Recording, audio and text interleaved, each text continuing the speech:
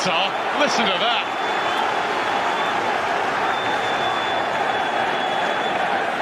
I'm not sure I've heard this place this loud. The Liverpool game in the Premier League this season. Wow, that was some atmosphere. This has topped it, though. I've got to say, it is a complete privilege and honour.